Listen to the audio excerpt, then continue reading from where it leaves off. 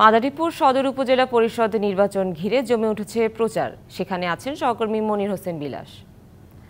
বিলাস, প্রচারণা কেমন দেখছেন এই গরমে? আর প্রার্থীরা কোন সময়টা বেছে নিচ্ছেন প্রচারণার জন্য? মাদারীপুরে সদর উপজেলার নির্বাচন, আটই মে যে সদর উপজেলার নির্বাচন অনুষ্ঠিত হবে, সেই নির্বাচনকে ঘিরে কিন্তু এখন মাদারীপুরে বলা যায় প্রচার প্রচারণা তুঙ্গে। তবে যে প্রকৃতির অবস্থা সকাল থেকে যে সন্ধ্যা পর্যন্ত তীব্র তাপদাহ, এই তাপদাহর মধ্যে কিন্তু নির্বাচনী তাপ আলাদা একটা যে চাম বলি সেটা কিন্তু সৃষ্টি করেছে মাদারীপুরে।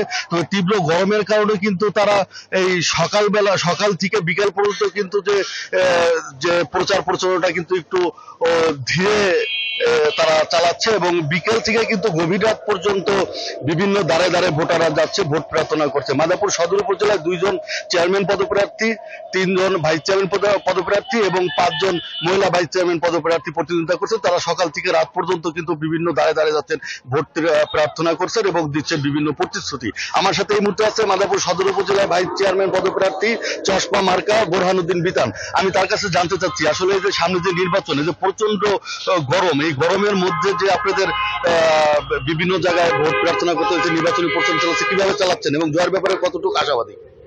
আসসালামু আলাইকুম।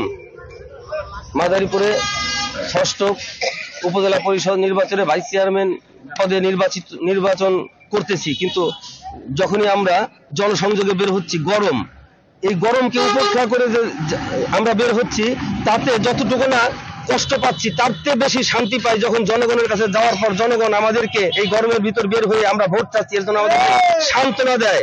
এবং শুধু সান্ত্বনা দেয়। তারা আমাদের শুধু সান্ত্বনা দেয় না, তারা আমাদের বলে যে এই নির্বাচনে আপনাদের মতো ছেলে আসা প্রয়োজন। একটু কষ্ট করেন, ভালো রেজাল্ট ইনশাল্লাহ পাবেন। এর জন্য জয় হান্ড্রেড পার্সেন্ট আশাবাদী ইনশাল্লাহ আমরা জয়ী হব এবং কি এই গরম উপেক্ষা করে যে ভোট চাইতে পারতেছি, তারপরেও এতেও আমরা আনন্দিত জনগণ আমাদের উৎসাহিত করতেছে। আপনার কোনো প্রতিশ্রুতি আছে কি নির্বাচনের কোনো প্রতিশ্রুতি অবশ্যই আমার মন আমি একজন আমি একজন যুবক থেকে কেবল মাদারীপুরের যুবকদের, বেকার যুবকদের যে অবস্থা, ঠিক আছে, সেইখানে বেকার যুবকদের নিয়ে উদ্যোক্তা হিসেবে কাজ করাই আমার লক্ষ্য।